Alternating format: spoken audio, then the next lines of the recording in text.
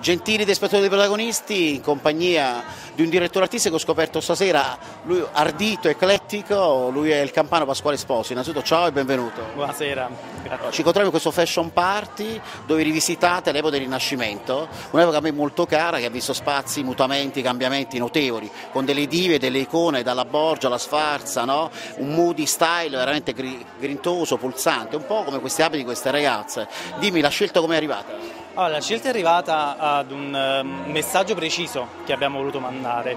Uh, in un periodo come questo difficile, uh, di, dove c'è bisogno di una rinascita, poiché il rinascimento è stato proprio questo, abbiamo attinto proprio da, da, questi personaggi importanti, storici, per creare su quelle linee abiti contemporanei e quindi lanciare il messaggio di puntare magari sulla creatività e sui nostri talenti per un rilancio mondiale del Made in Italy appunto rotto una ricercatezza di tessuti, di colori, un mix che trapassa un po' il contemporaneo col passato. No? Infatti vedo le fanciulle qua che, che ci ornamentano in maniera divina no? e enunciacele un attimino. Insomma. Sì, allora i colori ovviamente sono quelli principali sempre dell'epoca rinascimentale, dal bianco al rosso al, uh, al, blu, ma il tutto rivisitato in chiave contemporanea, quindi sono, i ragazzi si sono ispirati nelle forme, magari nelle maniche, nei fianchetti larghi, ma l'hanno riproposto in chiave completamente contemporanea e quindi uh, per una nuova donna, una donna comunque importante che vuole sentirsi importante e protagonista appunto le donne come di allora che ti enunciavano, sempre all'altezza della situazione,